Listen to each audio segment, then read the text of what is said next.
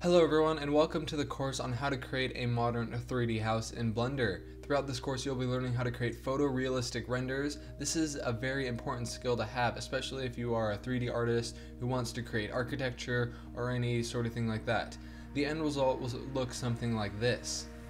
We will first start out with the modeling of the house, taking the basic 3D cube and turning it into a cool looking modern house. Next comes the materials and texturing. This section you will learn how to apply textures to your models, make them look realistic, and after that we will be adding professionally made models into our scene. This will make your house look lived in.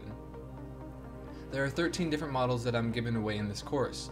After we add the models, we will focus on lighting our scene. This is probably the most important part of making architecture in Blender. We will also be getting into more advanced techniques like creating grass with particle systems. I will be showing you step by step on how to make the grass look real. Lastly, I will show you how to post-process your render after you finished it. This part is fun because you get to add cool effects to make your image just really pop.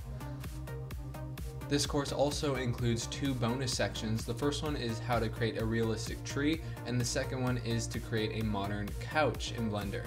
The first bonus, I will show you exactly how to make an organic tree and apply texture it and render it out. I'll also show you how to import that tree into other scenes.